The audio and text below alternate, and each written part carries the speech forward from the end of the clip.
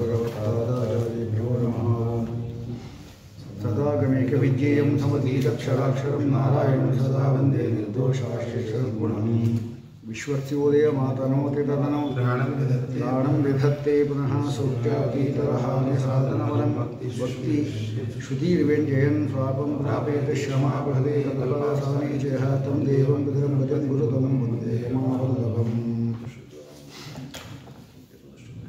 ಇದು ಇನ್ನೂರ ಹತ್ತು ಸರ್ವಕ್ಷಣಿಕತ್ವ ಇನ್ನೂರ ಮೂವತ್ತ ಇನ್ನೂರ ಹತ್ತು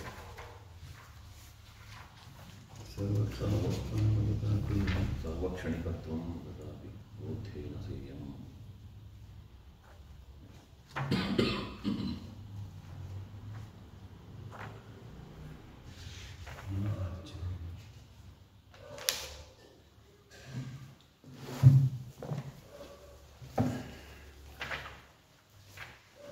ಬೌದ್ಧ ಮತ ಪ್ರಕಾರವೂ ಕೂಡ ಇಲ್ಲಿ ವಿಷಯವನ್ನು ಹೇಳ್ತಾರೆ. ಸರ್ವಕ್ಷಣಿಕತ್ವ ವದತಾಪಿ ಬೌದ್ಧೇನ ಸೇಯಂ ದಿಗು ಇತ್ಯಾದಿ ಪ್ರತ್ಯಭಿಜ್ಞಾಯ ಭ್ರಾಂತಿತ್ವ ನವಾಚ್ಯಂ ಪಂಚಸ್ಕಂದೇಭ್ಯ ಅನ್ಯತ್ವ. ಸರ್ವಕ್ಷಣಿಕತ್ವವನ್ನು ಹೇಳ್ತಕ್ಕಂಥವನು ಬೌದ್ಧ. ಎಲ್ಲವೂ ಕ್ಷಣಿಕ ಅಂತ ಹೇಳಿದ್ರೆ ಒಂದೇ ಕ್ಷಣದಲ್ಲೇ ಇರೋದು ವಸ್ತು ಅಂತ ಹೇಳೋದು ತಾರ್ಕಿಕರಾದರೆ ತ್ರಿಕ್ಷಣಾವಸ್ಥಾ ಇದೆ ಮೂರು ಕ್ಷಣ ಇರುತ್ತೆ ಅಂತ ಹೇಳ್ತಾರೆ. ಇವರು ಒಂದೇ ಕ್ಷಣ. ಅವರು, ಮತ್ತು ಅವ್ರಿಗೆ ಹೇಗೆ ನಾವು ಆಕ್ಷೇಪ ಮಾಡೋದು? ಪ್ರತಿವಿಜ್ಞಾ ಎಂಬತಕ್ಕಂಥದ್ದು ಏನಿದೆ? ಅವರಿಗೆ ಸ್ವಯಂ ದೇವದತ್ತ ಅಥವಾ ಸ್ವಯಂ ಗಕಾರ ಅಂದರೆ ಆ ಗಕಾರ ಮತ್ತು ಈ ಗಕಾರ ಎಂಬತಕ್ಕಂಥದ್ದು ಒಂದೇ ಎಂಬತಕ್ಕಂಥ ಅಭೇದ ಜ್ಞಾನ ಬರ್ತಾ ಇದೆ ಪ್ರತಿವಿಜ್ಞಾದಲ್ಲಿ ಅವರು ಆ ರೀತಿ ಹೇಳಿ ಈ ಆಪತ್ತಿ ಕೊಡಬೇಕಾದ್ರೆ ಅನಿಷ್ಟಾಪತ್ತಿ ಆಗಿರಬೇಕು. ತಾರ್ಕಿಕರಾದ್ರೆ ಏನು ಮಾಡ್ತೀವಿ ನಾವು ಅಂದರೆ ಸ್ವಯಂ ದೇವದತ್ತ ಅಂತ ಹೇಳಿದ್ವಿ ದೇವದತ್ತ ಇದ್ದ ಅವನಲ್ಲಿಯೂ ಕೂಡ ಅವರಿಗೆ ಯಾವುದು ವಾಯುಪಘಾತಾದಿಗಳಿಂದ ಪಾಕದಿಂದ ಅವನಲ್ಲಿ ಕ್ಷಣ ಕ್ಷ ಅವನಲ್ಲಿ ಕೂಡ ವ್ಯತ್ಯಾಸ ಆಗ್ತಾನೆ ಇರ್ತಾರೆ ಅವನು ಹೇಳಿಕ್ಕೆ ಬರಲ್ಲ ಅವನ ಪ್ರಶ್ನೆ ಬಂದರೆ ಆಗ ನಿತ್ಯವಾದ ವಸ್ತು ತೊಗೊಂಡ್ವಿ. ಆಕಾಶವನ್ನು ತಿಳ್ಕೊಂಡ್ವಿ ನಾವು. ಪರಮಾಣುವನ್ನು ತೊಗೊಂಡ್ವಿ ನಾವು. ಅದು ನಿತ್ಯ ಅಂತ ಅವನು ಒಪ್ಪಿದ್ದಾನೆ. ಹಾಗೆ ಸಯೈವ ಪರಮಾಣು ಅಂತ ಹೇಳುವಾಗ ಸ್ವಯಂ ಅದು ಅವನಿಗೆ ಒಪ್ಪಿಸಿದ್ವಿ ನಾವು. ಮತ್ತು ಬೌದ್ಧ ಸರ್ವಕ್ಷಣಿಕ ಒಪ್ಪದವನು. ಅವನೇ ಹಾಕಿ ಕೊಡ್ತೀರಿ ಈ ಪ್ರತಿವಿಜ್ಞೆ ಅಂದರೆ ಅನಿಷ್ಟಾಪತ್ತಿ ಆಗೋದು ಹೇಗೆ? ಸ್ವಯಂ ದೇವದತ್ತ ಅಂಬತಕ್ಕಂಥದ್ದು ಭ್ರಾಂತಿ ಆಗಬೇಕಾದೀತು ಅಂತ ಆಗಲಿ ಬಿಡ್ರಿ ಅಂತ ನಾವು. ಯಾಕೆಂದರೆ ಆ ದೇವದತ್ತ ಯಾವ ನಾವು ನೋಡಿದ ದೇವದತ್ತ ಯಾವತ್ತೂ ಹೋಗಾಯ್ತವನು ಇವನು ಬೇರೆ ದೇವದತ್ತ ಅವನು ಹುಟ್ಟಿರೋ ದೇವನು ಅದು ಭ್ರಾಂತಿ ಅಂತ ಭ್ರಾಂತಿನೇ ಅದು. ಅವನು ಅಲ್ಲೇ ಅಲ್ಲ ಇವನು ಬೇರೆ ಎಷ್ಟೋ ಜನ ಆಗೋಗಿದ್ದಾರೆ ಅಂತ ಹೇಳ್ತಾರಲ್ಲ ನಮ್ಮ ಪ್ರಶ್ನೆ ಬಂದರೆ ಹಾಗಲ್ಲ. ಅವರು ಕೂಡ ನಾವು ಸೇಯಂ ದಿಗ್ ದಿಕ್ ಅಂದರೆ ಅವ್ಯಾಕೃತ ಆಕಾಶ ನಾವು ಹೇಳೋದು. ಅವ್ಯಾಕೃತ ಆಕಾಶ ಅಂದರೆ ಒಂದೇ ದಿಕ್ ಅಂದರೆ ಒಂದೇ. ಆಕಾಶ ಅವಕಾಶ. ಭೂತಾಕಾಶಕ್ಕೆ ಅವಕಾಶ ಅಂತ ಹೇಳ್ತಾರೆ. ಅವ್ಯಾಕೃತ ಆಕಾಶ ಎಲ್ಲ ಕಡೆ ಇರತಕ್ಕಂಥ ನಿತ್ಯ ಅದನ್ನು ದಿಕ್ ಅಂತ ಕರಿತೀವಿ ನಾವು. ಅಲ್ವಾ? ಹಾಗೆ. ಸರ್ವಕ್ಷಣಿಕತ್ವವನ್ನು ಅವನು ಒಪ್ಪಿದರೂ ಕೂಡ ಬೌದ್ಧ ಸೇಯಂ ದಿಕ್ ದಿಕ್ ಎಂಬುದು ಸ್ತ್ರೀಲಿಂಗ ಆದ್ದರಿಂದ ಸಾ ಇಯಂ ಅಂದರು ಸ್ವಯಂ ಅಂತ ಹೇಳಿಂಗ. ದೇವದತ್ತ ಆದರೆ ಗಕಾರ ಆದರೆ ಪುಲ್ಲಿಂಗ. ಆದ್ದರಿಂದ ಸ್ವಯಂ ದೇವದತ್ತ ಅಂತ ಹೇಳಿದರು. ಇದು ದಿಕ್ ಎಂಬತಕ್ಕಂಥದ್ದು ದಿಕ್ ದಿಶವು ದಿಶಃ. ಆದ್ದರಿಂದ ಅದು ಸ್ತ್ರೀಲಿಂಗ ಆದ್ದರಿಂದ ಸ ಇ ಎಂ ದಿಕ್ ಅದೇ ಇದು ದಿಕ್ಕು ಎಂಬುದಕ್ಕಂಥದ್ದು ಏನಿದೆ ಪ್ರತಿಭಿಜ್ಞಾ ಅದು ಭ್ರಾಂತಿತ್ವ ನಮ್ಮ ಅದು ಭ್ರಾಂತಿ ಅಂತ ಹೇಳ್ತೀವಿ ಅಂದರೆ ಅದು ಭ್ರಾಂತಿ ಅವನು ಅಲ್ಲ ಅಂತ ಹೇಳಿ ಬರಲ್ಲ ಅವನಿಗೆ. ಭ್ರಾಂತಿ ಆದೀತು ಅಂತ ಆಪತ್ತಿ ಕೂಡ ಅನಿಷ್ಟಾಪತ್ತಿ ಆಗೇ ಆಗುತ್ತೆ. ಯಾಕೆ ಅಂದರೆ ಯಾವುದು ಪಂಚಸ್ಕಂದಗಳಲ್ಲಿ ಸೇರಿದೆಯೋ ಪಂಚಸ್ಕಂದಗಳಲ್ಲಿ ಅದಕ್ಕಿಂತ ಅತಿರಿಕ್ತವಾದ ಅದು ನಿತ್ಯ ಅಂತ ಒಪ್ಪಿದ್ದಾನೆ. ಪಂಚಸ್ಕಂದಗಳಿಂದ ರೂಪಸ್ಕಂದ ವೇದನಾ ಸ್ಕಂದ ಸಂಸ್ಕಾರ ಸ್ಕಂದ ಅಂತ ಐದು ಸ್ಕಂದಗಳಿದೆ ಪಂಚಸ್ಕಂದಗಳು ಅದು ಮಾತ್ರ ಅನಿತ್ಯ ಅಷ್ಟೇ. ನಿತ್ಯ. ಹೌದಾ? ಮಿಕ್ಕಿದ್ದು ನಿತ್ಯ. ಹಾಂ ಇನ್ನೆಲ್ಲ ನಿತ್ಯ ಅಂತ. ಅಂದರೆ ದಿಕ್ಕು ಅಂದರೆ ಅವ್ಯಾಕೃತಾಕಾಶ. ಅವ್ಯಾಕೃತಾಕಾಶ ಅಂತ ಶಬ್ದ ಹೇಳಲ್ಲ ಅವರು. ದಿಕ್- ದಿಕ್ಕು. ದಿಕ್ ಅಂತ ಹೇಳ್ತಾರೆ. ನಾವು ದಿಕ್ಕನ್ನೇ ಅವ್ಯಾಕೃತಾಕಾಶ ಅಂತ ಹೇಳ್ತೀವಿ. ಅದನ್ನು ಅವನು ಭ್ರಾಂತಿ ಅಂತ ಹೇಳಿ ಬರಲ್ಲ ಅದನ್ನು. ಅವನು ಅನಿಷ್ಟಾಪತ್ತಿ ಅಂತ ಕೊಟ್ಟಾಗ ಅನಿಷ್ಟಾಪತ್ತಿ ಆಗುತ್ತೆ ಅವನಿಗೆ. ಯಾಕೆ ಅದು ನಿತ್ಯ ಅಂತ ಒಪ್ಪಿನ ಯಾಕೆ ನಿತ್ಯ ಅಂತ ಒಬ್ಬದ ಅವನು ಅದಕ್ಕೆ ಕಾರಣ ಏನು? ಪಂಚಸ್ಕಂದೇಭ್ಯ ಅತಿರಿಕ್ತತ್ವ ಅದಂತ ಪಂಚಸ್ಕಂದಗಳಿಂದ ಯಾವುದು ಅತಿರಿಕ್ತವಾಗಿದೋ ಅದು ನಿತ್ಯ ಅಂತ ಒಪ್ಪಿದ್ದಾನೆ. ಕ್ಷಣಿಕ ಅಲ್ಲ ಅಂತ ಒಪ್ಪಿದ್ದಾನೆ ಅವನು ಕೂಡ. ಅದಕ್ಕೆ ಅದನ್ನೇ ತೆಗೆದುಕೊಂಡ್ರು ಅಲ್ವಾ? ಪಂಚಸ್ಕಂದೇಭ್ಯ ಅನ್ಯತ್ವ. ಇದು ಮೇ ಸಾಮಾನ್ಯ ಅರ್ಥ. ಅದಕ್ಕೆ ಸ್ವಯಂ ದೇವದತ್ತ ಅನ್ನೋದ್ರಲ್ಲಿ ದೇವದತ್ತ ಅವರು ಬೇರೆ ಆಗ್ತಾನೆ ಅಂತಂದ್ರೆ ಜ್ಞಾನ ನಿತ್ಯತ್ವ ಇರೋದ್ರಿಂದ, ಸೋ ಸ್ವಯಂ ದೇವದಿತ್ತ ಇತಿ ಜ್ಞಾನ ನಿತ್ಯ ಆದ್ರಿಂದ ಅದನ್ನ ತಗೋಬೋದಿತ್ತು ಅವರಲ್ಲಿ ನಾಲ್ಕು ಜನ ಇದ್ದಾರೆ. ಶೂನ್ಯವಾದಿಗಳು ಅಂತಿದ್ದಾರೆ, ವಿಜ್ಞಾನವಾದಿಗಳು ಅಂತಿದ್ದಾರೆ ಸೌತ್ರಾಂತಿಗಳು ಅಂತಿದ್ದಾರೆ ವೈಭಾಷಿಕ ಅಂತ ಅವರು ಒಬ್ಬೊಬ್ಬರು ಬೇರೆ ಬೇರೆ ಆಗ್ತಾರೆ. ಎಲ್ಲ ಶೂನ್ಯವಾದಿಗಳಾದರೂ ಕೂಡ ಅವರಲ್ಲಿ ವ್ಯತ್ಯಾಸ ಇದೆ. ವಿಜ್ಞಾನವಾದಿಗಳು ಮಾತ್ರ ಹಂಗೆ ಹೇಳ್ಬೋದು ಅಷ್ಟೇ ನಾವು. ಇದು ಸಾಮಾನ್ಯವಾಗಿ ಎಲ್ಲರಿಗೂ ಸೇರಿಕೊಡ್ತಾ ಇದ್ದಾರೆ ದೋಷ. ಭವೇದೇಶ ವಿಭೀಷಿಕ. ವಿಭೀಷಿಕ ಅಂದರೆ ಭಯ. ನೀವು ಭಯ ಪಡಿಸಿದ್ರಲ್ಲ ನಮಗೆ ಏಷ ವಿಭೀಷಕ ಅಂದರೆ ತಾರ್ಕಿಕರು ಹೇಳ್ತಕ್ಕಂಥ ವಿಭೀಷಕ ಹೇಳಿದ್ರಲ್ಲ ಅದು ನಾ ಅಸ್ಮಾಕಂ. ನಮಗೆ ಇಲ್ಲ. ವೈಶೇಷಿಕಾದೀನ ವಿಭೀಷಕ ಭವೇತ್. ನೀವು ಹೇಳ್ತಕ್ಕಂಥದ್ದು ಯಾವುದು? ಸ್ವಯಂ ದೇವದತ್ವ ಸ್ವಯಂ ಗಕಾರ ಎಂಬತಕ್ಕಂಥ ಪ್ರತಿವಿಜ್ಞಾ ಭ್ರಾಂತಿ ಆಗಬೇಕಾದೀತು ಅಂತ ನೀವು ಕೊಟ್ಟರೆ ಅದು ಸರಿ ಹೋಗುತ್ತೆ. ಆ ಭಯ ಅವರು ಸರಿ. ನಾ ಅಸ್ಮಾಕಂ. ಯಾಕೆ? ತೈಹಿ. ಸ್ಥಾಯಿನಃ ಪದಾರ್ಥ ಸಹ ಅಂಗೀಕೃತತ್ವ. ಅವರು ಸ್ಥಾಯಿಯಾದ ಆಕಾಶ ಮೊದಲಾದ ಸ್ಥಿರವಾದ ಪದಾರ್ಥಗಳನ್ನು ಒಪ್ಪಿದ್ದಾರೆ. ಅದಕ್ಕೋಸ್ಕರವಾಗಿ ಅವರಿಗೆ ಆ ಸ್ವಯಂ ದೇವದತ್ತ ಎಂಬತಕ್ಕಂಥ ಭ್ರಾಂತಿ ಆಗಬೇಕಾದಿತ್ತು ಅಂದರೆ ಅವರ ಅನಿಷ್ಟಾಪತ್ತಿ ಆಗತ್ತೆ. ನಾಸ್ಮಾಕಂ. ಎಷ್ಟು ಬೌದ್ಧ. ಬೌದ್ಧ ಇದೆ. ಸರ್ವಸ್ಯ ಕ್ಷಣಿಕತ್ವ ಅಂಗೀಕೃತ್ಯ. ಅಲ್ವಾ? ಎಲ್ಲವೂ ಕೂಡ ಕ್ಷಣಿಕ ಅಂತ ಒಪ್ಪಿ ಪ್ರತ್ಯಭಿಜ್ಞಾ ಮಾತ್ರಸ್ಯ. ಅಂದರೆ ಮಾತ್ರ ಅಂದರೆ ಪ್ರತ್ಯಭಿಜ್ಞತ್ವಾವಚ್ಛಿನ್ನ ಅಂತ ಅರ್ಥ. ಯಾವುದ್ಯಾವುದು ಪ್ರತಿಭಿಜ್ಞಾ ಅಂತ ಅದು ಎಲ್ಲವೂ ಕೂಡ.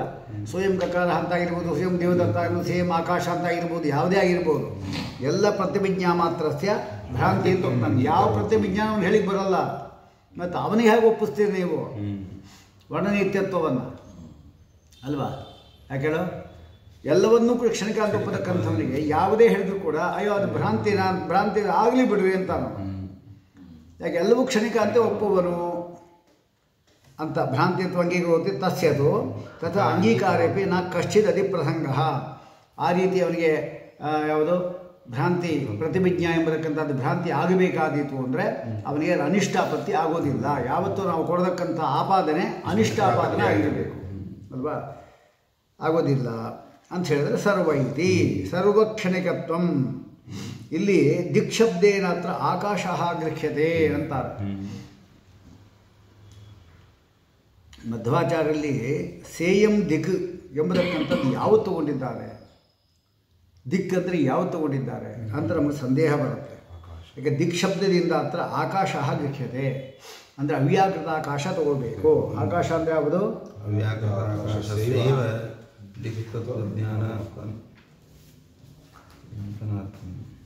ಮುಂದಿನ ವಾಕ್ಯನೇ ಇದೆ. ಮುಂದಿನ ವಾಕ್ಯನೇ ಇದೆ ಅವ್ಯಾಕೃತ ಅವ್ಯಾಕೃತಾಕಾಶ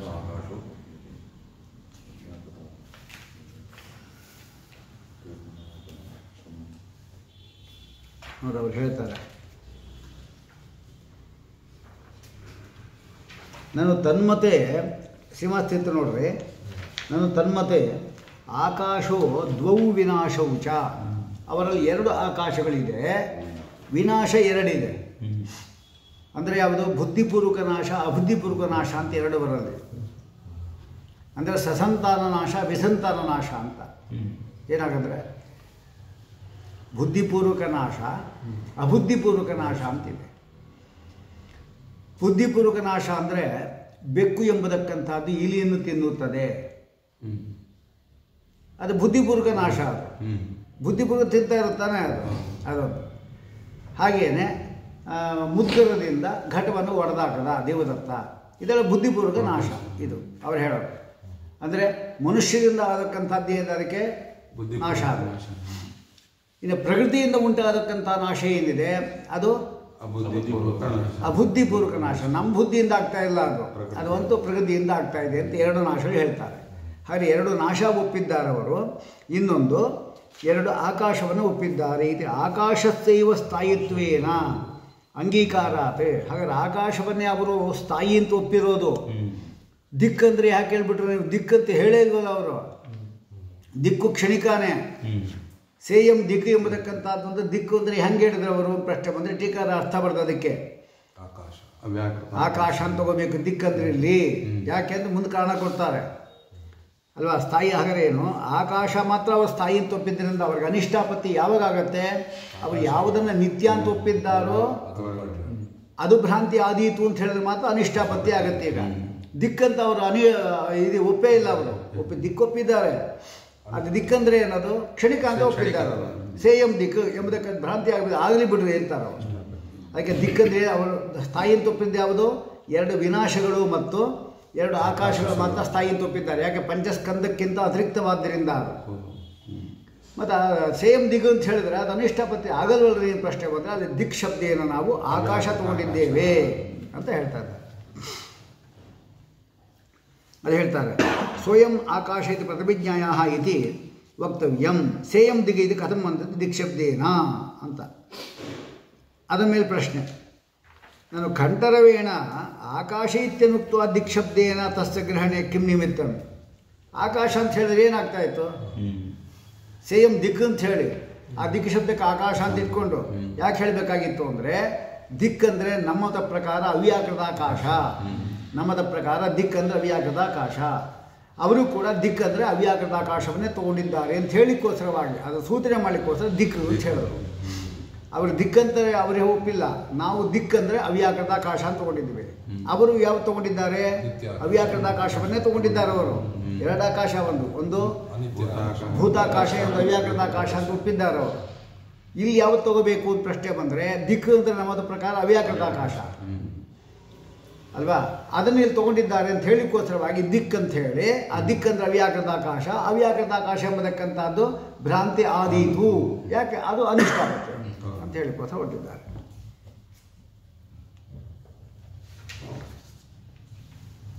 ಅವ್ಯಾಕೃತ ಆಕಾಶ ಅವ್ಯಾಕೃತ ಆಕಾಶ ಆ, ಕಿಂ ನಿಮಿತ್ತ ಸ್ವಮತೆ ಇತಿ ಶೇಷ ನೋಡ. ನಮ್ಮತೆ ಅವ್ಯಾಕೃತ ಆಕಾಶ ದಿಕ್ಕಂದರೆ ಸ್ವಮತೆ ಇತಿ ಶೇಷ.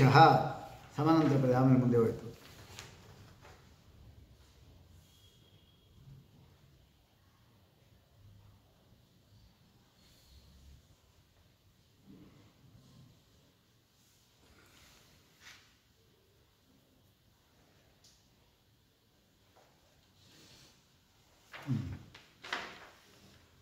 ಆಮೇಲೆ ಏನಾಯ್ತು ಆಮೇಲೆ ಅದರ ದಿಕ್ಶಬ್ದೇನ ಆಕಾಶ ಗೃಹ್ಯತೆ ಅವ್ಯಾಕೃತ ಆಕಾಶಸ್ಸೈವ ದಿಕ್ತು ಜ್ಞಾಪನಾರ್ಥಂ. ಅದ್ಯಾಕೆ ಮಾಡಿದ್ರು ಅಂತ ಪ್ರಶ್ನೆ.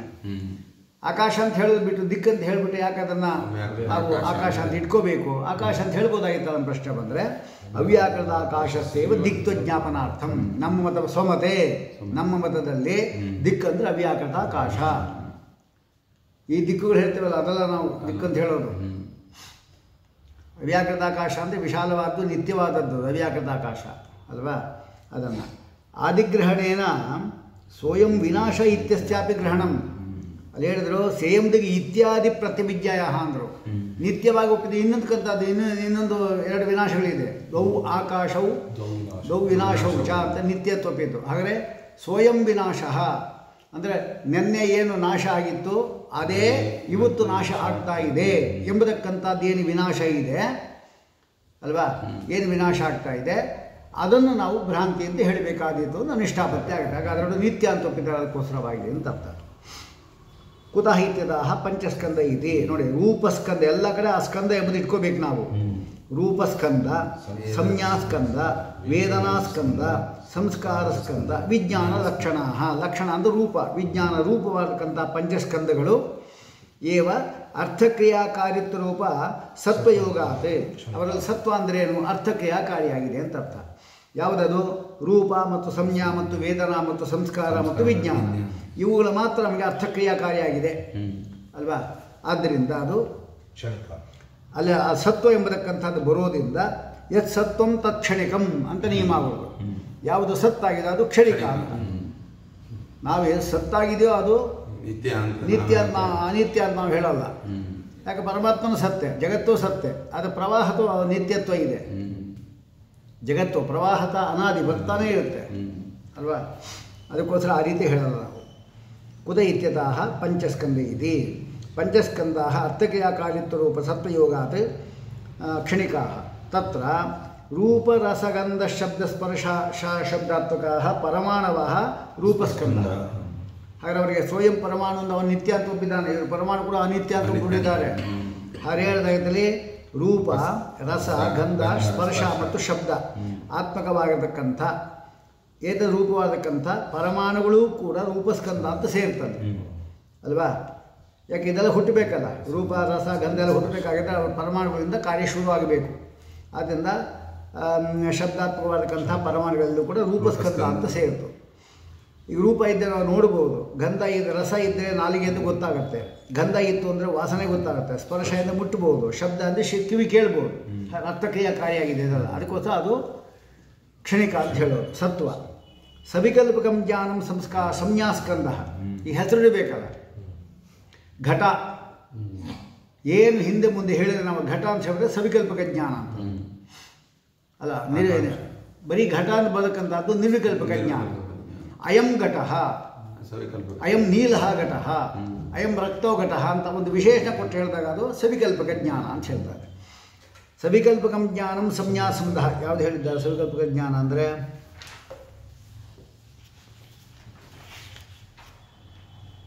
ನೋಡಿ ಅವ್ರು ಕೊಡತಕ್ಕಂಥ ದೃಷ್ಟಾಂತ ರಾಘವೇಂದ್ರ ಸ್ವಾಮಿ ಬರೀತಾರೆ ನೋಡಿ. ಸತ್ವಯೋಗ ತರಲಿಕ್ಕೆ. ತಕ್ಷಣಿಕಂ ಯಥಾ ದೀಪಾದಿ. ದೀಪಾದೀನಿ ದೀಪಾದಿ ಇತಿ ವ್ಯಾಪ್ತೇ ಯಾವುದು ಸತ್ತಾಯ ರಾಯ ರಾಯರು ಬರೆದಿದ್ದಾರೆ ಅವರು. ಯತ್ಸತ್ ತಕ್ಷಣಿಕಂ ಯಥಾ ದೀಪಾದಿ. ಯಾವುದು ಸತ್ತಾಗಿದೆಯೋ ಅದು ಕ್ಷಣಿಕ ದೀಪ. ಅಲ್ವಾ? ದೀಪ ಕ್ಷಣಿಕ ನೆನೆ ಮೂರು ದಿವಸದ ಉರಿತಾನೆ ಇದೆ. ಯಾವತ್ತು ಹೇಳಬೇಕಾಗಿದ್ರೆ ಅನುಭವಕ್ಕೆ ವಿರುದ್ಧವಾಗಿ ನಾವು ಹೇಳಬಾರ್ದು. ಅವ್ರು ಹೇಳೋದು ಒಂದೊಂದು ಆ ದೀಪ ಏನಿದೆ ಅದು ಒಂದೊಂದು ಕ್ಷಣದಲ್ಲಿ ಹುಟ್ಟಿ ನಾಶ ಆಗ್ಬಿಟ್ಟು ಇನ್ನೊಂದು ದೀಪ ಹುಟ್ಟಿಸ್ಬಿಟ್ಟು ಹೋಗುತ್ತೆ. ಯಾಕೆ ಅನ್ಯಥಾ ಕಲ್ಪನೆ ಮಾಡಬೇಕು? ಅಲ್ವಾ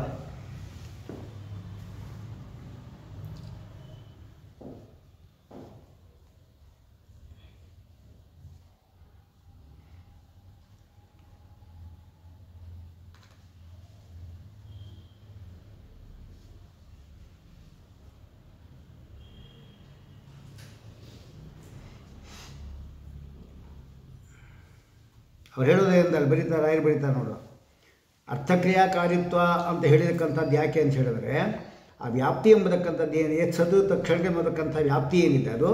ಅನುಕೂಲ ತರ್ಕ ಸೂಚನಾಯ. ಅನುಕೂಲ ತರ್ಕ ಹೇಳಿಕೋಸ್ಕರವಾಗಿ ಅನ್ಯಥಾ. ಅಂದರೆ ಏನು? ಯತ್ ಸತ್ ತತ್ ಕ್ಷಣಿಕಂ ಅಂತ ನಾವು ಹೇಳಿಲ್ಲ ಅಂತ ಆದರೆ ಅರ್ಥಕ್ರಿಯಾಕಾರಿಣ ಕ್ಷಣಾಂತರೇಪಿ ಸತ್ವೆ. ಯಾವುದು ಅರ್ಥಕ್ರಿಯಾಕಾರಿಯೋ ಅದು ಇನ್ನೊಂದು ಕ್ಷಣದಲ್ಲಿ ಕೂಡ ಇದೆ ಅಂತ ಆದರೆ ತೇನ ಘಟಾದ್ಯರ್ಥಾಂತರಂ. ಹಾಗೆ ಇನ್ನೊಂದು ಘಟ ಹುಟ್ಕುಂತು. ಅಲ್ವಾ? ಘಟಾದ್ಯರ್ಥಾಂತರಂ ತಾಭ್ಯಾಮ ಎರಡು ಘಟೆ ಬಂತೀಗ ಅದರಿಂದ ಇನ್ನೊಂದು ದ್ರವ್ಯ ಹುಟ್ಟಿತು. ಅಲ್ವಾ? ಮೂರನೇದು ತೈಶ್ಚ ಘಟಾದಿ ದ್ರವ್ಯಾಂತರಾಣಿ. ಇತಿ ಇತಿ ಏಕೇನಾಪಿ ಘಟ ಘಟಾದಿನ. ಒಂದು ಘಟದಿಂದ ಕುಲಾಲ ಶಾಲಾ ಪರಿಪೂರ್ತಿ ಸ್ಯಾತ್. ಕುಂಬಾರನ ಮನೆ ತುಂಬೋಬೇಕು ಮಡಕೆಗಳು. ಅದಕ್ಕೋಸ್ಕರ ಕ್ಷಣಿಕ ಅಂದ್ಬಿಟ್ಟು ಗಲಾಟೆ ಇಲ್ಲ. ಇನ್ನೊಂದು ಹುಟ್ಟಿಸೋದೇ ಇಲ್ಲ ಅಂತ. ಅತಃ ಕ್ಷಣ ಮಧ್ಯೆಯೇ ಉತ್ಪತ್ತಿ ವಿನಾಶವು ಅಭ್ಯುಪೇಯವು ಅಂತ. ಒಂದು ಕ್ಷಣದಲ್ಲೇ ಉತ್ಪತ್ತಿ ವಿನಾಶ. ಒಂದು ಕ್ಷಣದಲ್ಲಿ ಹುಟ್ಟು ಇನ್ನೊಂದು ಕ್ಷಣದಲ್ಲೇ ಹುಟ್ಟೋ ಕ್ಷಣದಲ್ಲೇ ಇನ್ನೊಂದನ್ನು ಸೃಷ್ಟಿ ಮಾಡಿಬಿಟ್ಟು ಸಾ ನಾಶ ಆಗೋಯ್ತದ್ದು ಅಂತ ಹಿಂಗೆ ಹೇಳಬೇಕು ಅಂತ ಅವ್ರು ಹೇಳ್ತಾರೆ. ಸಬಿಕಲ್ಪಕ ಅನಂತರ ಇತ್ಯರ್ಥ ರೂಪಸ್ಕಂಧ ಬಾಹ್ಯ. ಅದರ ಅದರಲ್ಲಿ ವಿಶೇಷ ಇದೆ. ರೂಪಸ್ಕಂದ ಎಂಬತಕ್ಕಂಥದ್ದು ಬಾಹ್ಯವಾದದ್ದು. ಅನ್ಯ ನಾಲ್ಕು ಕೂಡ ಅದು ಆಂತರಿಕ ಸಂಸ್ಕಾರ ಒಳಗಡೆ ಇರೋದು. ವೇದನಾ ಸಂಸ್ಕಾರ ಒಳಗಡೆ ಇರೋದು ಸಂಯಾಮದ ಒಳಗಡೆ ಇರತಕ್ಕಂಥದ್ದು ವಿಜ್ಞಾನ ಒಳಗಡೆ ಇರೋದು ಒಂದು ಬಾಹ್ಯ ಇನ್ಮಿಕ್ಕಿದ ಕೂಡ ಆಂತರ ಒಳಗಡೆ ಇರತಕ್ಕಂಥದ್ದು ಒಂದು ವಿಶೇಷ ಕೂಡ ಇದೆ ಅಂತ ಅವರು ಬರೀತಾರೆ. ಕ್ಷಣಿಕಾಹ ತದ್ ರೂಪಸ್ಕಂದ ಸವಿಕಲ್ಪಕ ಜ್ಞಾನಂ ಸಂನ್ಯಾಶಂದ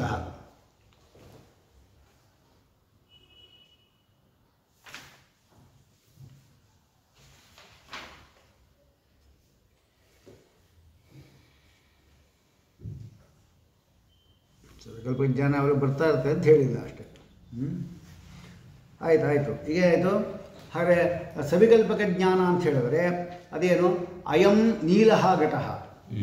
ಅಯಂ ಘಟ. ಅಂತ ಹಿಂದೆ ಒಂದು ವಿಶೇಷಣ ಇರಬೇಕು ಅಷ್ಟೇ. ಅಲ್ವಾ? ಸವಿಕಲ್ಪಕ ಅಂದರೆ ಒಂದು ವಿಶೇಷಣ ಇರಬೇಕು. ನಿರ್ವಿಕಲ್ಪಕ ಅಂದರೆ ವಿಶೇಷಣ ಇದೆ ಕೇವಲ ಘಟ ರಾಮ. ಅಂತ ಈ ರೀತಿ ಬಂತು ಅಂತ ಹೇಳಿದ್ರೆ ಅದು ಸವಿಕಲ್ಪಕ ನಿರ್ವಿಕಲ್ಪಕ ಜ್ಞಾನ. ಯಾವುದಕ್ಕೆ ಆಕಾಂಕ್ಷೆ ಇಲ್ವೋ? ಆ? ಆಕಾಂಕ್ಷೆ ಇಲ್ಲದಿದ್ದು ಹಂಗಲ್ಲ. ಯಾಕೆ ಪ್ರತಿಯೊಂದಕ್ಕೆ ಆಕಾಂಕ್ಷೆ ಘಟ ಅಂದರೆ ಕೀದೃಶ ಘಟ ಅಂತ ಪ್ರಶ್ನೆ ಬಂದೇ ಬರುತ್ತೆ ನಮಗೆ. ಹಾಗಲ್ಲ. ಕೇವಲ ಘಟ ಅಂತ ಜ್ಞಾನ ಬಂತು ಅದು ನಿರ್ವಿಕಲ್ಪಕ ಜ್ಞಾನ. ಅಯಂ ಘಟ, ಅಲ್ವಾ? ತತ್ರ ಘಟೋ ಅಸ್ತಿ ನೀಲಘಟ ಅಂತ ಒಂದು ಯಾವುದೋ ಒಂದು ವಿಶೇಷಣೆ ಇತ್ತು ಅಂತ ಹೇಳಿದ್ರೆ, ಈಗ ಬಾಲಕ ಅಂತ ಹೇಳಿದ್ರೆ ಯಾವ ಬಾಲಕ ಅಂತ ನಮ್ಗೆ ಗೊತ್ತಾಗಲ್ಲ. ಅಲ್ವಾ? ಅಲ್ಲಿ ಆಕಾಂಕ್ಷೆ ಇದ್ದೇ ಇರುತ್ತೆ, ಅದೆಲ್ಲ ಹೇಳ್ತಾ ಇರೋದು. ಇನ್ನೇನು? ಬಾಲಕ ಅಂತ ಹೇಳಿಬಿಟ್ರೆ ಅದು ನಿರ್ವಿಕಲ್ಪಕ ಜ್ಞಾನ. ಚತುರಃ ಬಾಲಕ ಅಂತ ಹೇಳಿದ್ರೆ ಆ ಒಂದು ವಿಶೇಷಣ ಬರುತ್ತೆ. ಅಷ್ಟೇ.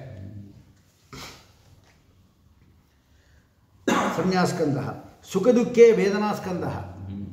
ಸುಖ ಆಮೇಲೆ ದುಃಖ ನಮಗೆ ಉಂಟಾಯಿತು ಅಂತ ಹೇಳಿದ್ರೆ ವೇದನಾಸ್ಕಂದ. ಅದು ಸುಖ ಯಾವಾಗಲೂ ಇರೋದಿಲ್ಲ ದುಃಖ ಯಾವಾಗಲೂ ಇರೋದ್ರಿಂದ ಕ್ಷಣಿಕ. ಸಮನಂತರ ಪ್ರತ್ಯಯ ಸಂಸ್ಕ ಪ್ರತ್ಯಯ ಸಂಸ್ಕಾರ ಸ್ಕಂದ ಸಮನಂತರ ಪ್ರತ್ಯಯ. ಈಗ ನಮಗೆ ದ್ವೇಷ ಮೋಹ ಇಂಥದ್ದೆಲ್ಲ ಉಂಟಾಗತ್ತಲ್ಲ. ಉಂಟಾದ ಕೂಡಲೇ ಒಂದು ಮನಸ್ಸಲ್ಲಿ ಒಂದು ಜ್ಞಾನ ಬಂದಿರುತ್ತಲ್ಲ. ಅದಕ್ಕೆ ಸಂಸ್ಕಾರ ಸ್ಕಂದ ಅದು ವಾಸನಾಮಯವಾಗುತ್ತೆ ಯಾವುದೇ ಆಗಲಿ. ಈ ಸ್ವಪ್ನ ಬೀಳೋದೆಲ್ಲ ಸಂಸ್ಕಾರ ಸ್ಕಂದ ಅಂತ ಹೇಳೋರು. ಯಾಕೆಂದರೆ ವಾಸನ ವಾಸನ ಬರೋದು ಹೇಗೆ? ವಾಸನ ಅಂದರೆ ಸಂಸ್ಕಾರ. ಅನುಭವದಿಂದ ಸಂಸ್ಕಾರ ಹುಟ್ಟಿರುತ್ತೆ. ಆ ಸಂಸ್ಕಾರ ಎಂಬುದಕ್ಕೆ ಮನಸ್ಸಿರುತ್ತೆ. ಅದರಿಂದ ನಮಗೆ ನಾನಾ ವಿಧ ಸ್ವಪ್ನಗಳೆಲ್ಲ ಬೀಳೋದು. ನಾನು ದೃಷ್ಟಾಂತ ಕೊಟ್ಟಿದ್ದೆ ಅದು ಹೇಳಲ್ಲ. ಸಮಾನಂತರ ಪ್ರತಿ ಅಂದರೆ ಹೇಳ್ತಾರೆ ನೋಡು. ನೋಡು. ಅದರಲ್ಲಿ ಅದರಲ್ಲೂ ಕೂಡ ಬೇಕಾಷ್ಟಿದೆ ಸ್ಮೃತಿ ಇತಿಗೇಚಿದೆ ಸಮನಂದ ಪ್ರತಿ ಅಂದರೆ ಸ್ಮೃತಿ. ಅನುಭವ ಆದಮೇಲೆ ಏನು ಸಂಸ್ಕಾರ ಹೊರತು ಅದರಿಂದ ಏನು ಸ್ಮರಣೆ ಬರುತ್ತೆ ನಮಗೆ ರಾಮನೇ ಇವನು ಅಂತ ಅದು ಅಂತ ಹೇಳ್ತಾರೆ. ಅನ್ಯತು ಸಮ್ ಅಂದರೆ ಸಮಾನ.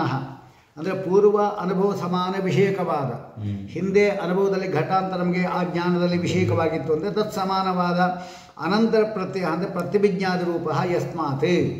ಪ್ರತಿಭಿಜ್ಞಾ ಅಂತ ಹೇಳ್ತಾರೆ ಕೆಲವರು ಸಮನಂತರ ಪ್ರತ್ಯಯ ಅಂದರೆ. ಪ್ರತಿಭಿಜ್ಞಾದಿ ಜನಕ ಸಂಸ್ಕಾರ ಸಂಸ್ಕಾರ ಸ್ಕಂದ ಇತ್ಯಾವು ಇತ್ಯರ್ಥ ಇತ್ಯಾವು. ಪ್ರತಿವಿಜ್ಞಾನ ಉಂಟು ಮಾಡತಕ್ಕಂಥದ್ದು ಸಂಸ್ಕಾರ. ಅದೇ ಸಂಸ್ಕಾರ ಸ್ಕಂದ ಅಂತ ಕರೀತಾರೆ. ಅಪರೇತು ಸಮನಂತರ ಪ್ರತ್ಯಯೋ ರೂಪಾದಿ ಸ್ಕಂದಾನಾಂ ವಾಸನ ಇತ್ಯರ್ಥ ಇತ್ಯಾಹು ಅವರು ವಾಸನ ಅಂತೂ ಹೇಳ್ತಾರೆ ಪ್ರತಿವಿಜ್ಞಾ ಅಂತೂ ಹೇಳ್ತಾರೆ ಸ್ಮೃತಿ ಅಂತ ಹೇಳ್ತಾರೆ ಅವರಲ್ಲೇ ವಿಕಲ್ಪಗಳಿದೆ. ನೋಡು ಸಮನಂತ ಪ್ರತ್ಯಯ ಪೂರ್ವ ವಿಜ್ಞಾನಂ ಅಷ್ಟೇ ವಾಚಸ್ಪತಿ ಹೇಳಿದ್ದು. ಶ್ರೀಮಸ್ಥಿತ್ರ ಹೇಳ್ತಾ ಇದ್ದೇನೆ ಸಮನಂತರ ಪ್ರತ್ಯಯ ಪೂರ್ವ ವಿಜ್ಞಾನ ಅಂದರೆ ಯಾವುದೇ ಜ್ಞಾನದ ಹಿಂದಿನ ಜ್ಞಾನ. ಅಂದರೆ ಯಾವುದಾಗ್ಬೋದು? ಈಗ ನಮಗೆ ಸ್ಮರಣೆ ಬಂತು ಅಂತ ಹೇಳಿದ್ರೆ ಸ್ಮರಣೆ ಬಂತು ಅಂತ ಅದು ಹಿಂದಿನ ಪ್ರತಿ ಯಾವುದು ಸಂಸ್ಕಾರ. ಸಂಸ್ಕಾರ. ಅಂತ ಹೇಳಿದಾಗಾಯಿತು. ನಜ ಪೂರ್ವ ವಿಜ್ಞಾನದ ಸಂಸ್ಕಾರ ಜನಕಸ್ಯ ಕಥಂ ಸಂಸ್ಕಾರ ರೂಪತ್ವದ ವಾಚ್ಯಂ.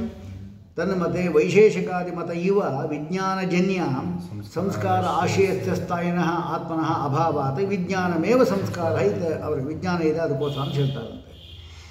ಅಷ್ಟೇ ಅಲ್ವಾ? ಸಜಾತೀಯ ಪೂರ್ವ ವಿಜ್ಞಾನ ಇತ್ಯರ್ಥ. ಸಮನಂತರ ಪ್ರತ್ಯಯ ಅಂದರೆ ಸಜಾತೀಯವಾದ ಹಿಂದಿನ ಜ್ಞಾನ. ಈಗ ಅಯಂ ಘಟ ಘಟವು ಅಂತ ನಮ್ಗೆ ಜ್ಞಾನ ಬಂತು ಅಂದರೆ ಅದು ಹಿಂದೆ ಸಮ ಸಮಾನವಾದಕ್ಕಂಥದ್ದು ಯಾವುದು? ಅಯಂ ಘಟ ಅಂತ ಅನುಭವ. ಅಂದರೆ ಸಂಸ್ಕಾರ. ಅದು ಸಮಾನಾಂತರ ಪ್ರತ್ಯಯ ಅಂತಾರೆ ಅಂದರೆ ಅಯಂ ಘಟಃ ಅಂತ ನಮ್ಗೆ ಅನುಭವ ಬಂದ ಮೇಲೆ ಏನು ಸಂಸ್ಕಾರ ಇರುತ್ತೆ, ಅದು ಸಮಾನಾಂತರ ಪ್ರತ್ಯಯ. ಆಕಾಶವು ದ್ವೌ ವಿನಾಶೌ ಚ ಇತಿ ತ್ರಯಂ ನಿತ್ಯಂ ಸ್ಥಾಯಿ. ಆಕಾಶವು ದ್ವೌ ವಿನಾಶೌ ಚ ಇತಿ ತ್ರಯಂ ನಿತ್ಯಂ ಸ್ಥಾಯಿ ಅಂತ ಹೇಳ್ತಾರೆ. ಅಸಂಸ್ಕೃತಂ, ಅದು ಬೇಡ, ಅಲ್ಲಿ ನೋಡೋಣ.